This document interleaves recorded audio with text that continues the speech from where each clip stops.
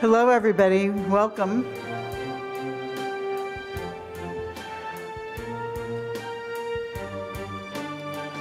So we have um, 200 and some odd people that replied that they will be attending, but most of them are going to be attending online. So thank you for the people who are here for coming out.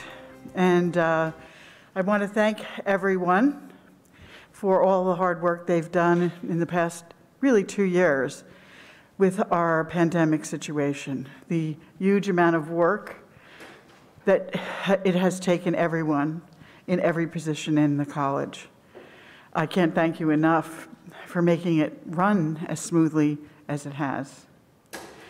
So um, I'd like to just um, spend a little bit of time, a very short presentation without slides, and um, discuss um, what's going on and what are the topics of the day that you would be, might be interested in, hopefully will be interested in, and, um, and then follow that by so, a Q&A. So there is a spot on, on online that, where you can go um, to uh, click on questions and you can put your questions in there. Now, for those who don't have laptops, Nate, what should we be doing?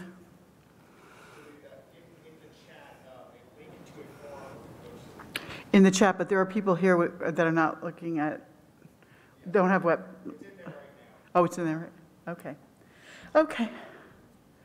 Okay, so, um, and we'll take as many as we can, but I, we do have three uh, distinguished scientists that will be speaking today, and I want to make sure that they have time uh, to do that. So, uh, first of all, I'd like to talk about the budget. I know that's always like something that's top on people's lists. It's been top on mine since I started here as dean because the budget has not changed since I became dean. And uh, you know about our unique situation in the state. And we didn't have um, a new budget signed by the governor, so we didn't get a new budget. So I basically, you know, we are uh, set with the money that we've had since 2000, probably 16. And so this year, I'm hoping that things change because our budget actually looks pretty good. If the budget is signed as it is going to the governor, looks like there'll be some raises. It looks like there'll be um, really decent money for the university because there is a significant enrollment increase. And I, I know I've been coming to the departments to talk. I still have two more departments to do, so some of this will be repetitious for you but it's good news, so repetition is probably okay.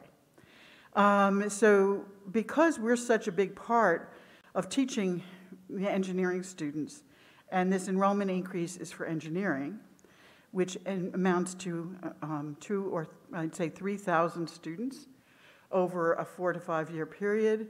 This is a significant um, role that we play in it. And so we're working with the Provost and Chancellor's Office to get a piece of that budget increase so we can hire faculty um, to cover that teaching and also staff because we are hugely understaffed, as you know. So I'm hoping that this enrollment increase gives us a, a push ahead and that we can do some significant hiring of some top-notch faculty, top-notch in teaching and research. So the next thing is renovation. There is a lot of money in this budget for renovation if it passes. So everything I'm saying is it's got to be signed or we don't get it. But um, it is $150 million.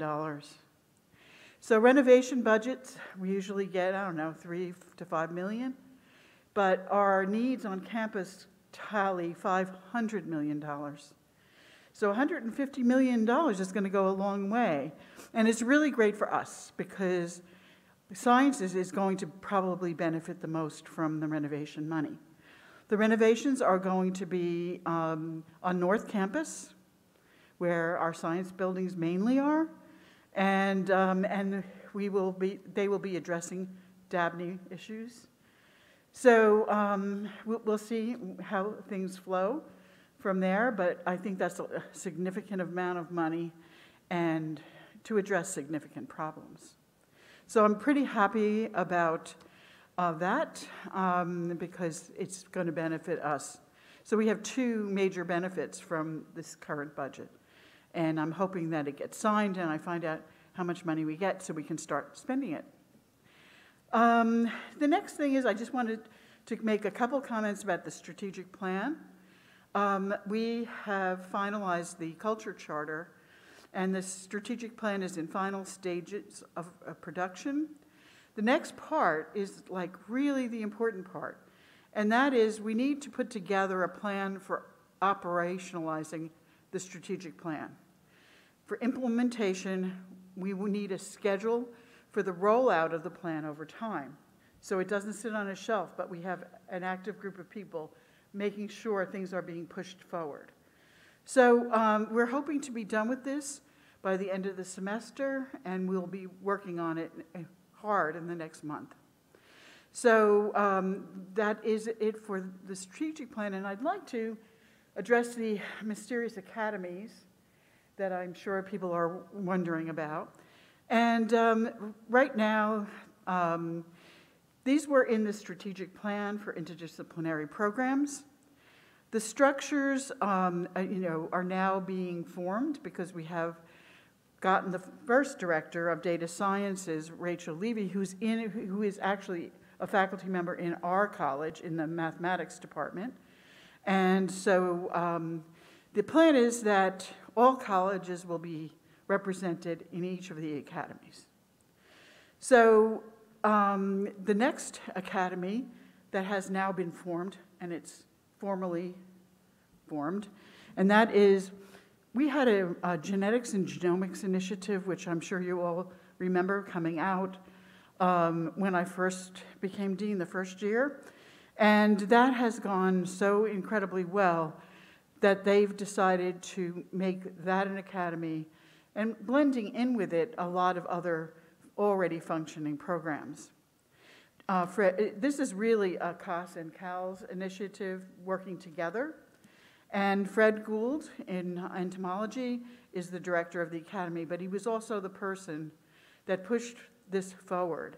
And he has an amazing, you know, class act um, group that are working with him, executive uh, council. So, um, so we are involved very strongly in the first two academies. Future academies include, um, are not formed yet and not decided on, but I hear rumors about ecology, coastal resilience, and other things. But we'll see, because I know people are putting uh, proposals together to be presented to the provost. So um, I think I'll take questions now. And then after that, um, I'd like um, Josh Pierce to come up and talk about our new integrated sciences building and where we are in that process. So, um, yeah, 10 minutes. Okay, um, so questions.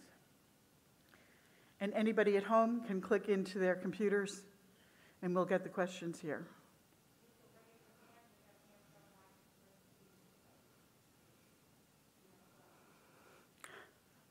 I wasn't that clear.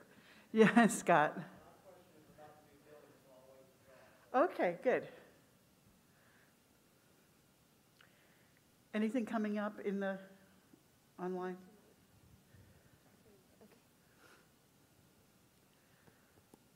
Okay, well, I guess when there's good news, people don't have a lot of questions. And um, so um, I'm going to ask Josh to come up. And I don't think I need to stay here, you know, with you. You can answer the questions, I don't have. Okay, maybe I should stay here. No, I can answer the questions from over there.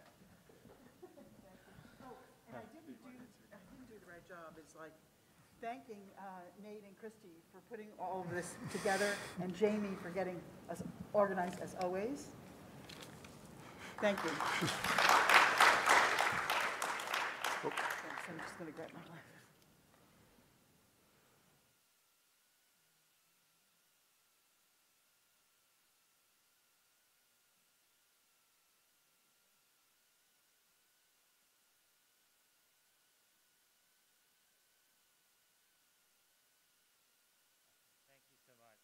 Dean again for starting us off. And uh, I think this was the welcome slide to the meeting, um, and so that's uh, uh, there. And so I want to talk for three to five minutes about two things. Um, one of them is the Chemistry of Life program, which I'll note is not an academy. Um, I'm not sure what that means, but uh, ask me in a few years and maybe I'll know. Um, but uh, it's a, a, really exciting uh, program that's really tasked with sort of interfacing the molecular focused science with life focused sciences across NC State. And maybe not all 10 colleges, but certainly um, four colleges are heavily involved in, in this program. Um, we're really focusing on both teaching, training, and research, and really trying to develop programs that enable us to do that and make it a unique program, not just here at NC State, but also in, in the UNC system. And so the Chemistry of Life uh, program currently involves over 40 faculty um, from four colleges. Um, it's led by Sciences and is part of broader Comparative Medicine Institute, which I co-direct and serves to really facilitate the function of the, the effort across campus. Um, we have new courses, um, we have new uh, training programs, um, we have an NIH-funded T32 grant and a Beckman Sciences, uh, a Beckman uh, Scholars grant uh, for undergraduate students, and both of these were secured in our first year, which has been super exciting and, and really great to attract um, top talent to NC State. And so this program is growing. Um, it's uh, our cohort of NIH T32 students come from five different graduate programs from four different colleges, just to reflect the interdisciplinary nature of the program. And there's lots of information about the program on the website, and happy to talk with you all more about this um, in the future. Um, it's the reason that I'm leading off with the program is it really sets the stage for thinking about what the vision of the new integrative sciences building may be. And if you don't know, um, there's going to be a new building where Harrelson Hall was. Um, and that's on the Brickyard. You can see the, the general location for that building here. Um, there was a lot of sites on main campus considered for this building, but this was the um, winner for a lot of different reasons, which I could go into at great length, but you probably don't want me to. Um, it's just the obvious site for this sort of hallmark science-focused building on campus. And so there's not a final design for this building yet. What I'm about to show you is just a mock-up of the general idea of what this might look like. And so this is the, the gist of the building. It'll likely be five stories. It'll likely have two stories of teaching and three stories of research, teaching on the bottom and research on the top. To be quite frank, it's going to be just gorgeous and, and uh, you know, a, a real uh, highlight on main campus. It's meant to be sort of that architectural gem on main campus that um, the Hunt Library and other buildings have really been on, on Centennial campus. And uh, uh, you know, I think we have the budget and the people on board to really be able to do this. And so what is this building going to be and what is it going to sort of stand for? Um, well, the, you know, we don't have to read all of this, but really it's meant to be an interdisciplinary sciences building that really highlights um, chemistry, biochemistry, biology, and biotechnology. And so, you know, a chemistry, life science, biochemistry um, building is what we're looking at here. It's going to be a huge benefit to the College of Sciences, and, and many faculty and students are going to find themselves located in this building. There's going to be a lot of efforts to have science on display in this building, um, really engage the public, particularly in the, the ground floor, um, where there'll be flow through from the brickyard into the other buildings on campus, which, as Dean McGann mentioned, as part of this vision, hopefully will also receive some substantial uh, renovations and upgrades to really make a science corridor that's uh, really attractive and, and uh, appropriate, I think, for much of the exciting stuff we're doing here on campus. And so as part of that, um, there's been a lot of discussion about theming for the building. Um, this will be soon proposed to the um, executive committee for the building, which is the provost, chancellor, and all the deans. And really, it's a, a theme around, uh, you know, chemistry at the interface of biology and biotechnology. And, and so, again, I think it's a a benefit to, to many, many faculty, and this, along with uh, renovations to existing space, I think will help all faculty, whether or not they have life science uh, interests on campus. And so we're super excited about this, and I'm happy to try to answer any questions. Um, things move quickly with all of this, but we, we know what we at least know today. Um, and I'll just point out that for those of you that, that aren't in the life sciences or interfaced, you know, I encourage you to think about similar efforts like this. Um, it's been really fun to drive this forward, and I think there's a lot of opportunity to do this in other areas as well. And so, um, happy to try to answer any questions about this or chat with anybody separately, either via email or otherwise. Yeah.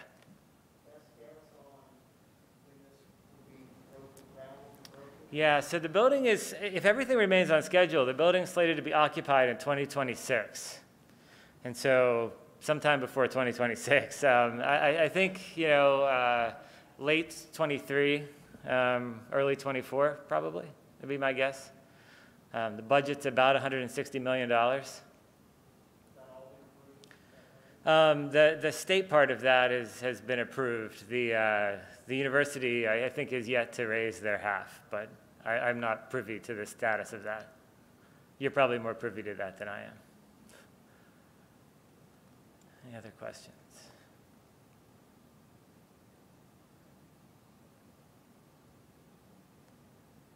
Everybody's so quiet today.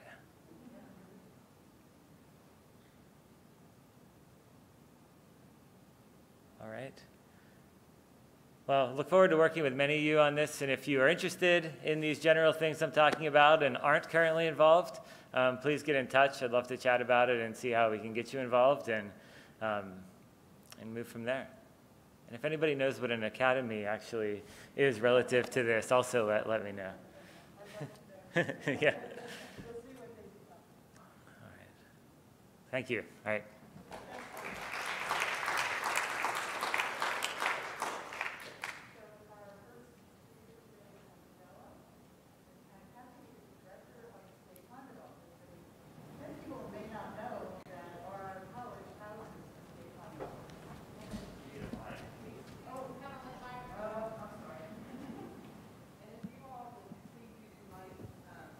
One of the ambassadors are here to assist you too, for anybody that might be hearing impaired. Okay, and I'm, so, I'm sorry about that. My voice is usually loud enough, but not with the mask. okay, so Kathy Dello, Director of the State Climate Office, and as I said, many people don't know that our college houses the State Climate Office. And Kathy is doing an amazing and remarkable job um, building, rebuilding the State Climate Office. Thank you. Thank you so much. Thank you, Dean McGann, for the invitation. It is wonderful to be here in person. I have done hundreds of events while wearing Nike running shorts and then some sort of nice thing on the top.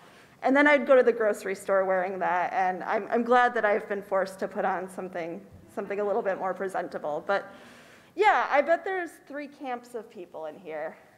Those of you who do not know there's a state climate office, this is for you.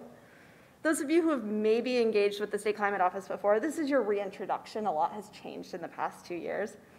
And then many of you may know exactly what we do, and you may be on my payroll if that's the case. And I'm only going to cover just a few things. We could talk about a lot, but I thought I'd hit a few highlights. But in thinking about the climate crisis, it's here in a way that none of, none of us anticipated in 2021 we're feeling the extremes of climate, of climate change and our climate fueled disasters pretty much in every corner of the planet.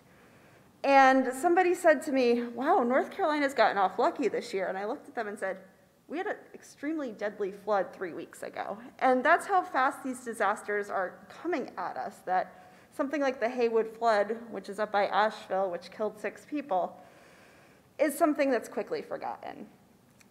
And this headline kind of talks about what the State Climate Office does. We put a lot of events into context. And what we're finding with events like the Haywood flood, that they're worse than anything we saw in our historical past. They're worse than what some models are telling us, and we are entirely unprepared for our changing climate. So in comes the State Climate Office. We're studying this huge, uh, this huge problem that really touches all 10.5 million North Carolinians. And we focus specifically on three mission areas.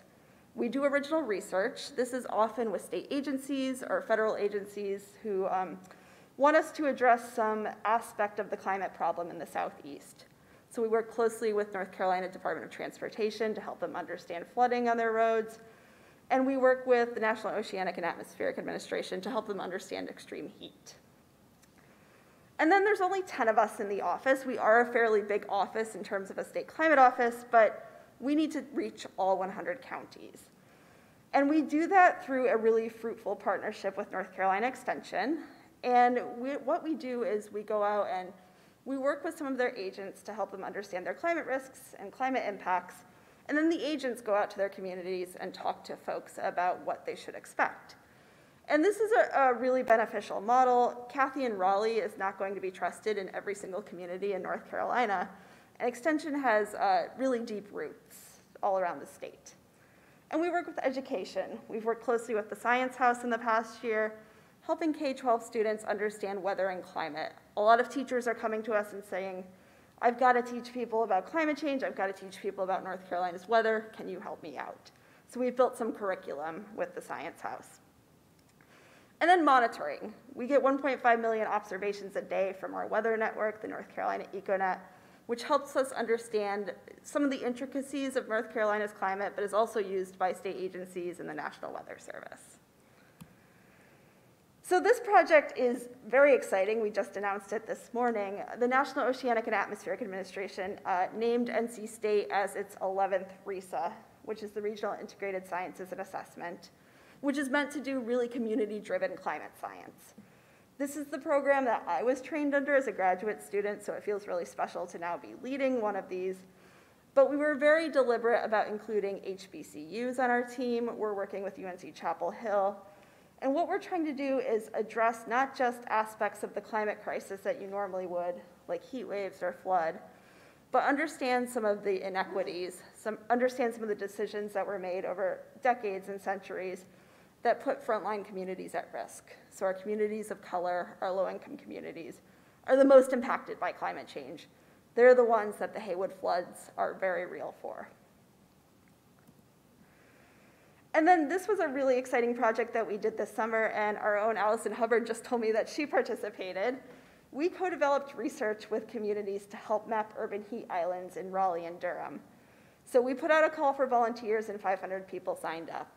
And what we needed them to do was drive around on their car with a sensor, and this has been vetted by uh, an outfit out in Portland, Oregon. And NOAA gave us some money to engage community members in mapping their own neighborhoods to see what parts of the cities are the hottest. And it, this is great as an academic exercise, but we really need to operationalize this. So we worked closely uh, with the city of Raleigh in Durham County. We worked with the Museum of Life and Science to help put some of these things into, into action and create some policy. So there's really low-hanging fruit with extreme heat. We could shade bus shelters. We could give people subsidies for cooling. A lot of poor people can't access air conditioning and can get sick on really hot days. And then this is an infrared camera picture that we took at the Bureau of Mines. And you can see on a really hot day that bench is probably not where you want to be spending your lunch, but maybe if we get that budget increase, we could put some, some shade over it. And then we have lots of data at the State Climate Office. Many of you have come to me and asked for it or come to members of our team. And we decided to replace our old access system, CRONOS, with a system called Cardinal, which is the state bird of North Carolina. And this is really a one-stop shop for most of your climate data needs. Uh, historical Climate Now will put future climate in there over the next year. And it's a really neat tool. You can do some really rudimentary plotting using Station Scout, so you don't even need to download the data. So what I did here, and because folks ask me this all the time, mostly about their gardens, I looked at accumulated precipitation for the Raleigh Airport Station. And the black line is where we are this year. The green line is the wettest year on record. The brown line is the driest. And you can see the range of precipitation. So we were on track with the wettest year on record, 2018, except that big jog up on the green line, that's Hurricane Florence. So we're, we're trending a little bit below there, but even though it's been dry these past few weeks, except for today, it's been a pretty wet year. And you can go onto our tool and look at these things very quickly. And then we're monitoring North Carolina's environment through our weather network, the North Carolina ECONet. This supports agricultural decisions, it supports public health Department of Health and Human Safety is downloading our data and putting it into their database. And also public safety. The National Weather Service and North Carolina Emergency Management rely on our stations to help fill some gaps. And the picture that I'm showing here is wet bulb globe temperature. And many of you know the real feel or the heat index. Wet bulb globe temperature is actually a better measure of heat stress. We are the only state that has our network outfitted with black globe thermometers to calculate this. And it's a really useful metric for knowing when you should be outside. So high school athletic associations are using it, the military uses it as well. When you're in the black, when you're in the red, don't go for your run. So we're putting these data out and serving them up to the public. And then I'll wrap this up. Like I said, I could go on forever, but I'm happy to chat with any of you more. We're also telling the story of a rapidly changing North Carolina. People are hungry for climate information. They want to know what's happening to their neighbors and in their backyard. So we work closely with state agencies to develop risk profiles for the North Carolina Climate Risk Assessment and Climate Science Report. We did a webinar series on climate change in North Carolina, mostly for extension, and we put out a really fun, readable blog every month, sometimes two or three times a month if there's an event. Sign up for it. It's, it's a nice way to know what's going on in North Carolina, and we tie a few things together. And then I got to duck out early of the National Climate Assessment meeting for the fifth National Climate Assessment, so we're I'm participating in that as well. So a lot of talks, blogs, tweets, whatnot about North Carolina's climate. And I don't do this alone. I'm the person up here speaking. All the things I talked about, my team participates in. Many of them are online. I see Sheila in the back. She's our new associate director. We're happy to chat with any of you at any time. Call us, subscribe, add us, or visit our website. And I think I have time for a question or two. Thank you.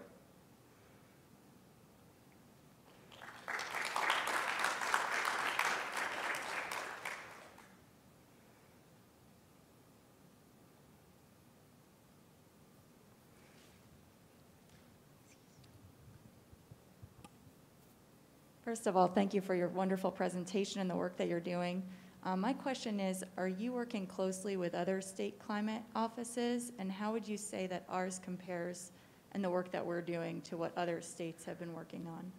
So I'm not just saying this. Ours is one of the best, and um, we're the second biggest. Uh, a number of states have come to me over the past few months and said, "How are you guys doing it? We want to replicate it." So I'm going to brag about us for a little bit. Um, we do work closely with some state climate offices. The ones around us aren't as strong, and we found ourselves getting into situations where it was the North Carolina State Climate Office plus the entire Southeast. We were just kind of moving the box and doing a lot of things for the other states.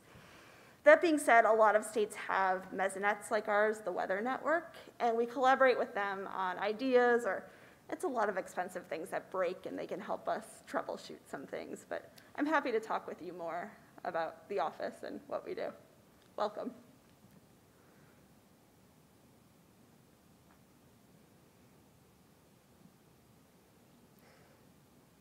It is a quiet group. I don't know what an academy is either. Okay.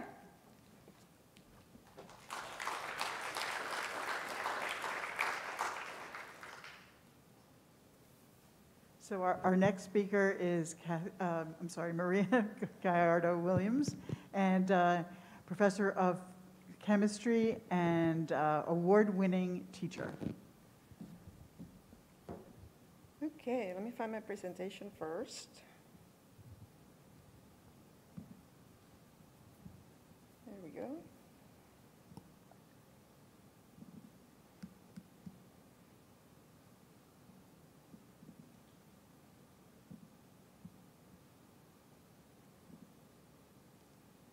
Okay.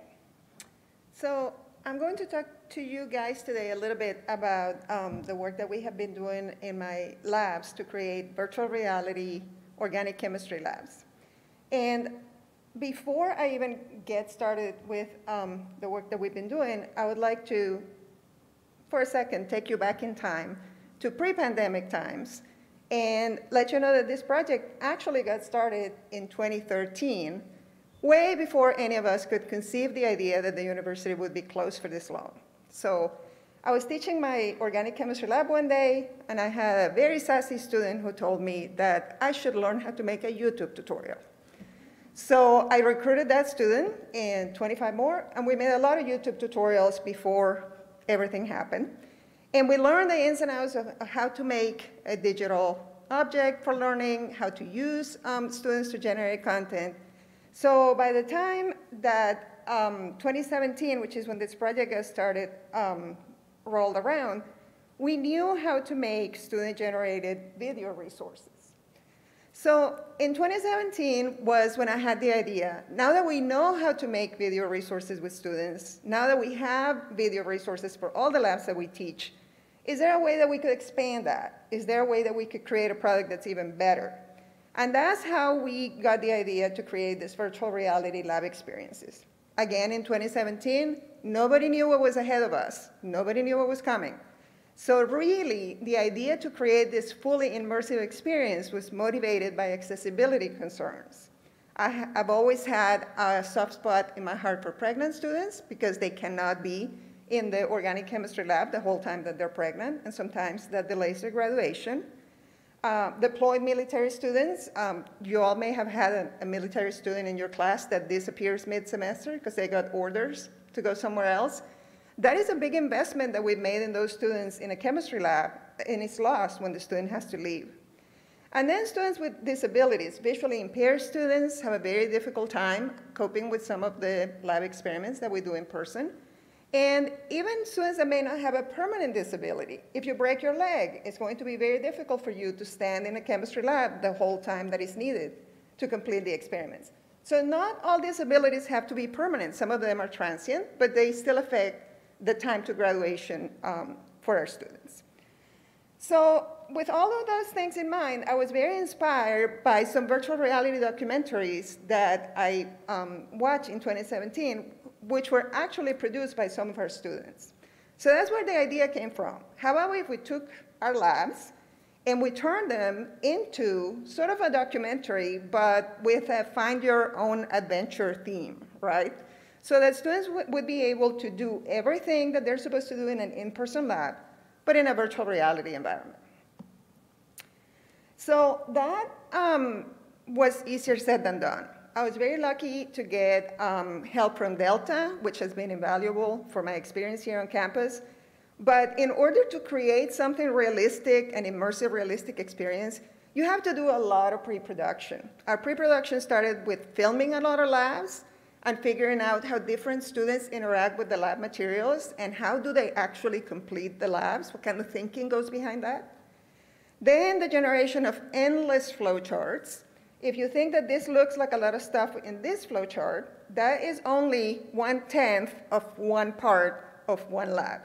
So my office was literally wallpaper from top to bottom with lucid charts and flowcharts of all kinds, uh, which is not my favorite thing to do. I have discovered the hard way. And then that allowed us to move to the production stage. So producing a virtual reality documentary is a lot of fun for many reasons. Um, one of them is you have to be completely alone in the room where we're filming. So the person that is acting in the, in the lab has to be completely alone and the room has to be completely empty because we're filming in 360 degrees all the way to the ceiling and all the way to the floor. So any direction has to be done previously before we film, and you can't splice together little clips like you would do in a real video. It has to be done in one take for the whole segment. So there was a lot of rehearsing that went uh, behind that. We learned a ton about 360 video production. My TAs and my undergraduates did such a great job and were so patient with us. I don't think I can ever um, give them enough credit for the work that they did. It was a lot of fun, but it was also really hard. Then we got to the part that actually turned out to be the hardest part of this game, which was the post, post-production stage, because the video and graphics components hadn't been developed yet for what we wanted to do. So even though there was virtual reality expertise out there that we could tap into, uh, mostly from Epic Games down in Cary, North Carolina, who were very helpful to us, there were still a lot of graphic elements that were just not available. So for example, at the time that we were in post-production of our first video, There was no way to generate a flat whiteboard inside a virtual reality simulation, and we had to work the kinks of all of that. So this is what the video looks like when it's captured, and as you can see, it's curved. And it's not going to work to put somebody inside of a curved environment. You wouldn't go watch an IMAX movie if the simulation didn't feel real. So we had to work out all those kinks, and we had to come up with highly specialized ways to do it, and also with a consistent graphic system so that the user experience was the same going from one lab to the next. So we spent a lot of time on that post-production issues, and we finally, by the end of 2018, we had one video completed. Um, the longest, the longest production time for anything that I've ever done, including my children. So once we had that video completed, the question was, who is going to use this and how is it going to be deployed?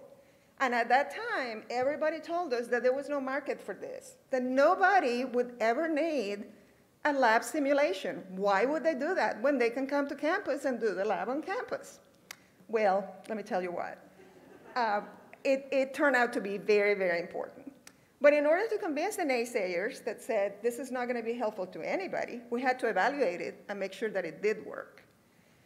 So we did a pilot in the fall of 2018 in which we um, had a lab section that was taught with in-person students and, and very good TAs, and we had a lab section that was taught with virtual reality experiments.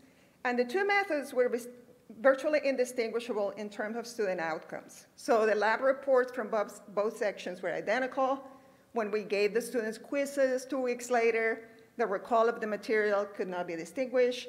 So we knew that the students that took their lab in the virtual reality modality could produce the same kind of work as the students who took it in person. Going beyond that, um, it turns out that the students really liked it. Um, there's a comment here, down here from a student that says, I like that we still went through like a normal lab setting. I like the image and explanations associated with the answers and activities. We open our mics with an open mic test at the end of each one of the labs, and we let the students tell us anything they wanted to tell us about these labs. We didn't put any constraints on what they could say about it.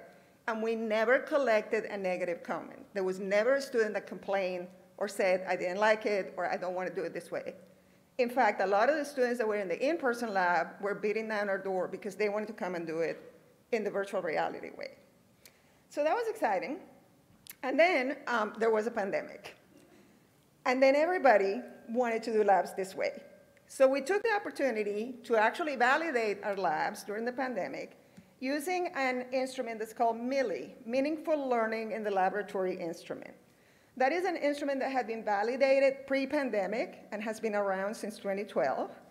And when we apply that instrument, which is a survey, pre and post survey instrument, when we apply that instrument to our labs, we found out that virtual reality labs give better outcomes than in-person labs when we use that instrument, both in the affective dimension and in the cognitive affective dimension. So students not only like the labs, they do better in this kind of labs. And from our own testing, we know that they retain the material the same way as if you taught them in person. So COVID-19 was rough on all of us, but it wasn't as rough for me. I, I was very fortunate that I had a whole set of labs for the first semester of organic chemistry at that point. We were able to switch to online labs in one day in March of 2020. March 12, 2020, in case anybody wants to know.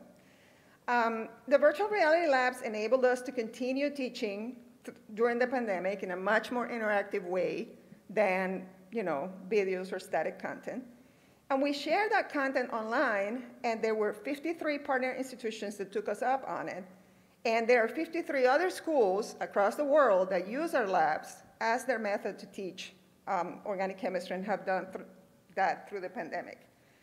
There's more than 53 schools that use our labs. Those are 53 official partners that we have agreements with who are actually helping us to collect data on the use of these labs in a big scale. We know that students like and appreciate the experience, and that's one of the things that really has made a big difference for me. Um, being able to offer not only a pandemic resource, but a resource that can be used long term if needed. Just to give you an idea of the reach of our labs, um, the only way to access the lab is using GoLinks. That is the only thing that we have released out there. So you have to go through, the, through a GoLink to open our labs. This is GoLink data for one of our labs for the period between August 17th and September 18th of this year. So from the first day of school until last week.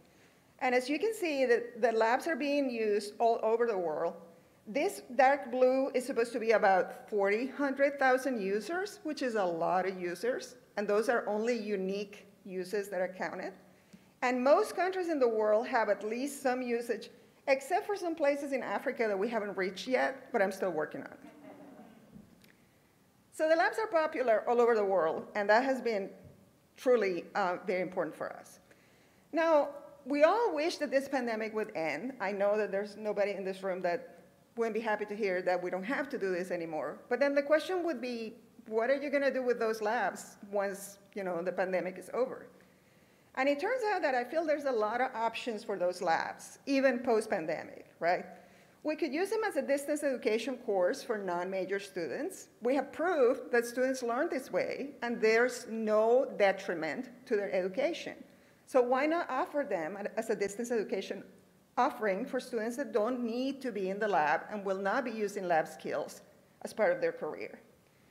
We can use individual labs to make up missed labs in case of absences. I uh, just, since we started the semester, I've done that more than 100 times for students who have been either diagnosed with COVID or exposed to COVID in some way. So that has been a wonderful use of them. We can use them as pre-lab material if needed, and we're actually doing that for our majors, just to give them that extra dimension of doing the lab ahead of time and then coming in and practicing the skills that they have already seen. We could use them as post-lab review material, and my favorite one would be to offer this on demand and let students choose how they want to engage with the material. Everybody's different. You know, there may be students that really and truly want the in-person experience, but there may also be students who would choose to do this voluntarily because it is more convenient, less stressful, or it has a number of other advantages. So all, all of those options are on the table and are open, and hopefully we will get to try all of those um, sometime in the future. And before I leave, I would be remiss if I didn't thank my team from Delta, who are really and truly a very dedicated group of people. Um, Kathy Donegan was our project lead, and Mike Wells was our creative director. All of these guys worked incredibly hard. Um, Rich Guernsey actually developed that flat whiteboard that causes so many nightmares. And um, Stephen Waddell used to be an undergraduate student that worked with me before he was hired by Delta to be on this project. So that's all um, very exciting, and I'm very thankful to them. And I'm also very thankful to my TAs, because without them, this project would not have been possible. So we had different instructors for each lab, and as you can see, they look different, they also sounded different. Each lab has a different flavor because each instructor gives that own personality to the lab. And as a result, students that complete the course in this manner are exposed to many different kinds of instructors and many different kinds of instruction, which was very important to me um, from a diversity and inclusion standpoint. And they're really a real diversity um, within this project, you know, showing people that doesn't matter what your instructor look like, there's many different ways that the information can come to you and that you can receive it. And that's all I got, and I'll be glad to answer any questions that you might have.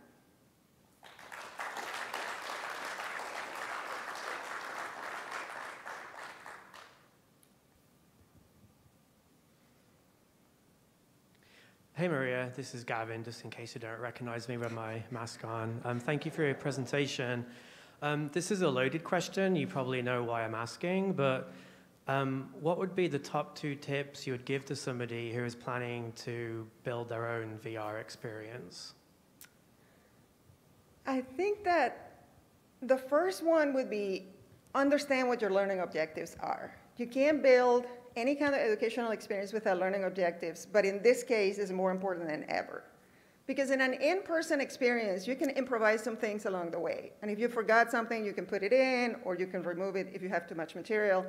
This has to be lean and mean. It has to be straight to the point, and you have to know exactly what you want to say and how you want to say it. So that would be my first, my first thing. And then the second one would be find a team to work with you. You know, I don't know how to do half of the stuff that we did in these labs. I don't know, we, we had a person in the team, um, Stephen, who was called a node wrangler. So that, that's not, not something that you hear every day. I don't know how to wrangle nodes. It turns out that that's something that you have to do when you have a simulation that has more than one possible ending because students will make choices and the simulation will branch and somebody has to wrangle all of that. So find a team that knows what they're doing. This is not a, this is not a job for lone wolves. You're gonna need a team because each member of the team is gonna do something um, that is gonna be different and all of those things are gonna be important. So those would be my top two. Um, Yeah, this is really exciting stuff. Uh, What, uh, what kind of equipment do people need to be able to access this? And is there a way to do it, like, without the VR aspect to get some of that if they don't have that equipment? Yes, there is. Um, so to access the simulations, all you need to do is you download a free app that is called Wonda VR, and that gives you access. And then if you have a VR helmet like an Oculus or um, any of the commercial, including Google Cardboard, you can just put your phone inside the VR helmet and you can watch them that way. If you don't have a VR helmet or you don't want to use virtual reality, you can use either your phone as a magic window and, and select commands by hand. It's not nearly as exciting, but people do that. Or you can watch the simulations in the computer. So we provide links. Um, in our website, we provide QR codes that you can scan with your phone if you want to go that route, and we also provide links. And if you go that route, you can just watch them in the computer and move around using your cursor. We never wanted anybody to feel like they had to do it in one way. Because to me, that's, that kind of defeats the purpose of making it accessible. Um, there's many reasons why people may not want to do virtual reality, and I learned a lot of those reasons this past year.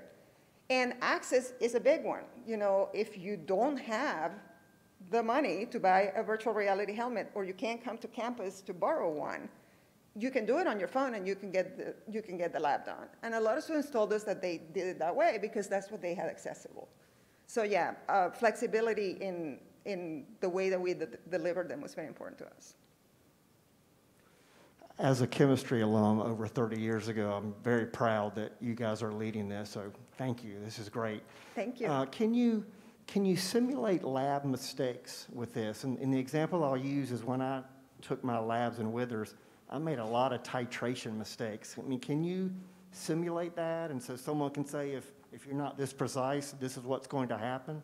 You can make mistakes, yes. There are, there are many decision points um, in the videos. Usually, at, at the very least, there are six or seven decision points where you will have to decide how much material you're going to use, how long you're going to heat it, how you're going to proceed. There's different decisions in each lab. If you make a decision that is not productive, we don't call them mistakes, we call them non-productive decisions, right? Because it's less, it's less offensive. Um, if you make a mistake, the TA will redirect you and will ask you to go back and consider if maybe there was a better option there. So in some labs, um, so we actually tested this to see if people, you know, were making a lot of mistakes. And in most labs, people may make one or two unproductive decisions and then they, they find religion and they do everything well after that.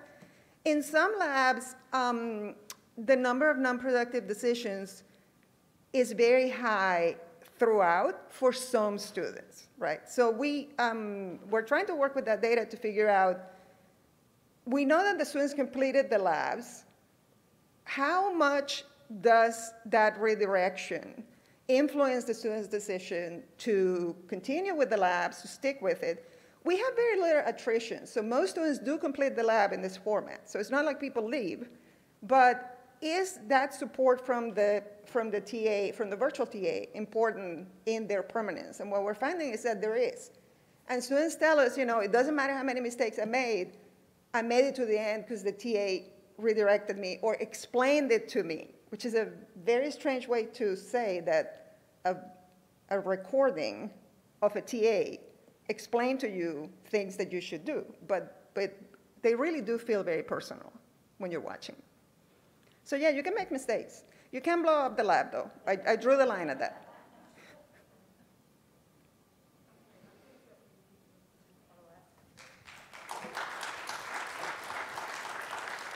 Okay, our- our next speaker is Katie Mack. Um, She is a professor in physics, and she, her work is in trying to understand the secrets of the universe, and then try to help the rest of us in the world understand that. So, thank you, Katie, for being here. Thank you. Um, Yeah, so I think that uh, after those two awesome presentations, I think I'm, I'm here to represent the much less useful um, kind of, uh, you know, blue sky, flights of fancy kind of science uh, that, that goes on at, at uh, here as well. Um, so I'm a cosmologist, which means that I'm interested in the universe as a whole, its evolution, its history, what it's made of, and so on. Um, and I'm particularly interested in the beginning and the end and kind of the, the connections between those two things. Um, and one of the amazing things that we can do in cosmology is we can look out into the universe, into the distance, and see very, very distant objects and use that to directly see the earliest times in the cosmos. We can look back in time and actually see the past in the universe, and we can study these very, very distant galaxies that are, you know, billions and billions of light years away and learn about what happened in the early days of the universe. Um, and so we have amazing data from, you know, telescopes. This is from the Hubble Space Telescope, uh, an image of some of the earliest, most distant galaxies in the universe. But one of the things that we find when we look at those observations is that most of the universe is actually completely invisible. Um, we can't see it at all. We can't interact with it at all. Most of the universe is, is really a mystery. And we can, what we can do is we can use observations to quantify that mystery. And we can say that about you know, 26, 27% of the universe is what's called dark matter, which is a kind of invisible stuff that holds galaxies together, that makes up the, the bulk of the, the matter, the stuff in the universe that has gravity.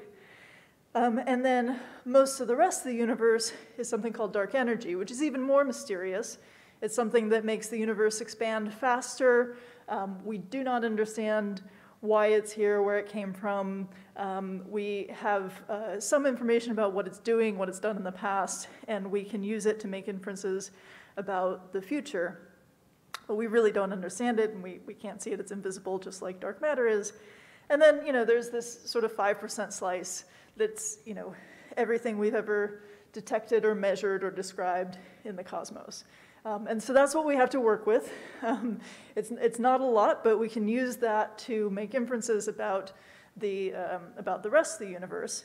And we can do some really amazing things with that. So, um, for example, we can take uh, simulations of distributions of just dark matter in the universe and apply time and gravity and, and see the formation of a, this amazing cosmic web. So in this simulation, each little white dot is sort of a clump of dark matter, and, the, and you can see this, the, basically um, each little white dot represents where a galaxy will live someday in the universe. And so you can do these simulations of vast stretches of cosmic time and see the formations of uh, galaxies. These are not my simulations, by the way, these are, but these are um, how we learn about the formation of galaxies and so on in the context of this invisible stuff, this dark matter. And we can use uh, more sophisticated computations and look at how galaxies are forming in these webs of dark matter. And on this, in this simulation, which is also not mine, but, uh, but uh, simulations I use uh, information from, uh, the left-hand side is, is dark matter, and the right-hand side is the temperature of the gas, and you can see how sort of galaxies are forming and, and blowing these bubbles of uh, where supernovae happen and stars are exploding, and we can do a lot of really amazing stuff computationally to understand what's going on in the universe. And my uh, work is to look at these uh, situations where we have this dark matter as the kind of uh, scaffolding upon which all of the regular matter is forming and wonder, you know, what happens if inside those dark matter clumps there's uh, more new physics going on. So we think that dark matter probably has some kind of weird particle interactions where maybe two dark matter particles can come together and annihilate with each other and create energy and heat. And how does that affect how the first stars and galaxies are forming? And so I don't have pretty pictures to represent my work because it's, it's uh, you know, sort of computational, lots of equations, numerical stuff. Um, but the idea is to use those kinds of computations and figure out what we will see with new telescopes, uh, new radio frequency observations, to learn about these early galaxies and to try and figure out what that dark matter really is. Not just where it is, not just how it comes together, but what it is fundamentally on a sort of particle level. Um, so I'm, I've just, uh, just been awarded an NSF grant to work on uh, that question and, and really try and get to the bottom of what's going on with dark matter in the earliest galaxies in the universe. And meanwhile, I'm also interested in sort of the other end of time, uh, what is going to happen in the distant future of the universe, and how is the universe going to develop when the galaxies are uh, dying, when, when the universe becomes much less, um, you know, uh, structured, when the expansion of the universe carries on and, and turns the, you know, turns the universe dark in, in its last days. Um, this is a simulation, also not my simulation. I don't have pretty pictures in my, in my work, so I show other people's pretty pictures. But anyway, um, this is a simulation of what's going to happen when the Andromeda galaxy collides with our galaxy in, in several billion years and, and how our night sky will change. But after that happens, uh, the expansion of the universe is going to make the universe much darker, much colder, and much emptier. And someday the universe will end. And this is a, a, um, a topic that's been a, a, point of fascination for me for the last several years, thinking about different ways the universe might end. And so I wrote a book about that uh, called The End of Everything, Astrophysically Speaking. And um, in this book, I go through several different ways that the universe might end and what that would look like and how we're learning about it. Um, and I, I, bring this up because uh, this is something that's uh, this kind of sharing the sort of big conceptual, scary stuff in an accessible way is a big part of what I am passionate about and what I do here with the support of NC State. So I'm in the Leadership for Public, for Public Science cluster, which is a uh, cluster that brings together people doing various kinds of science connected with the public and uh, being part of that has allowed me to take the time to write a book for the general public um, in my first few years as a junior faculty, which is something that a lot of people in the sciences don't have the option to do. And so it's been an amazing opportunity to be here to do that. Um, and it's just a, a, when, when you do the kind of work that um, doesn't you know, save lives or, um, or sort of, you know, revolutionize teaching. It's nice to be able to at least share um, my passion with, with the world and to, to bring that, um, that kind of awe and wonder about the universe uh, to, to other people and hopefully inspire people in some way. Um, so anyway, so I'm, I'm working on kind of these questions about both ends of the universe and really trying to figure out kind of what we really know about the cosmos and where we're going with it. And I just want to share um, a couple of um, headlines from, uh, from a few years back talking about, uh, from a, a, an astronomy and geophysics magazine, uh, talking about kind of where we are with cosmology right now with the study of the cosmos. So these are, are two headlines from the same uh, issue. One is, is everything we know about the universe wrong? And you can see that pie chart there um, about, you know, most of the universe is invisible, we don't understand it. And then uh, the, other, the other side, some of the things we know about the universe are, are probably right. Um, and so I think that personally, I kind of take both sides of that argument. I think that there's a lot that we don't know about the universe. There's a lot that is probably going to turn out to be wrong. But we are learning some things, and there is hope, and there is a direction that we can go to, to find out something about the universe. And so I'm kind of dabbling in a lot of different those areas there to uh, try and try and discover something about what the universe is made of, where it came from, and ultimately where we're going. So, thanks.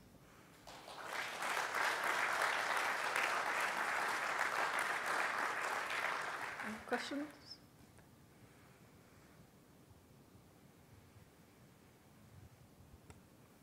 Thanks, Katie. Um, this is a question from our online audience, uh, and the question is, might the universe reboot?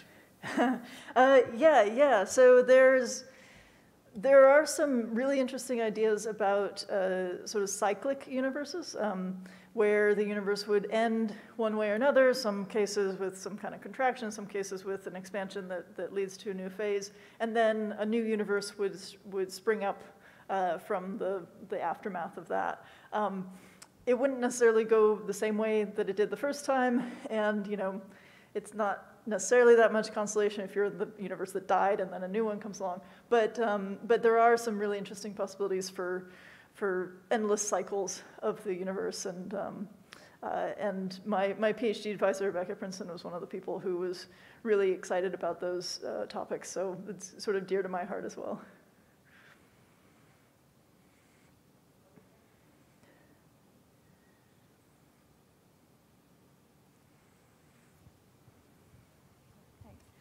Hi there, Katie. Hi. I just wanted to say um, thank you for sharing. And even though um, a lot of us feel that we're not saving lives like first responders, you are changing lives by being there for the students, um, all the faculty, staff, and um, um, who are here for the students on a daily basis. So thank you. Thank you.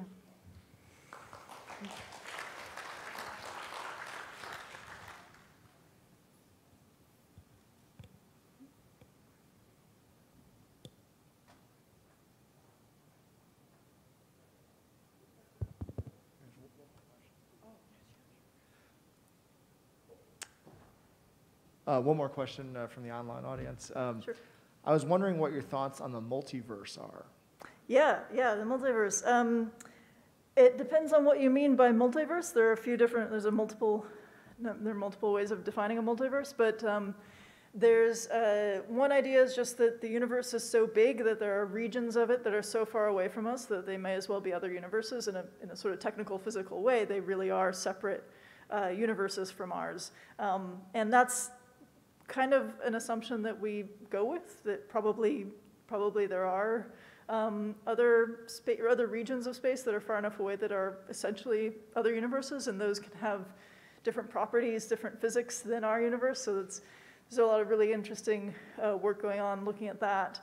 Um, but there's also uh, a lot of interesting discussion around quantum mechanics, around the idea of the many worlds uh, interpretation of quantum mechanics, which is, which is where sort of every time a quantum mechanical event happens, every time like a subatomic particle moves left or right, a new universe branches off, and then you have these parallel universes where like slightly different things happen. And that comes up all the time in science fiction. So if you're if you're a science fiction aficionado or into sort of Marvel universe kind of stuff, like that happens um, in those in those contexts.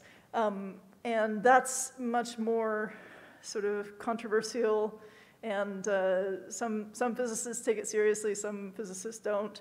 Um, so it kind of goes back and forth there. Um, but I think that there's definitely a lot of interest, especially in sort of string theory and, and other uh, sort of theoretical cosmology contexts of the idea that, that there could be parts of the universe that are just physically very different from our own because they are separated from us. They might have had slightly different histories, and that, that can create a kind of multiverse um, that uh, could have implications for the origin of our universe and, and its future and so on. Okay, I think we'll, Thank you. I think, is this on?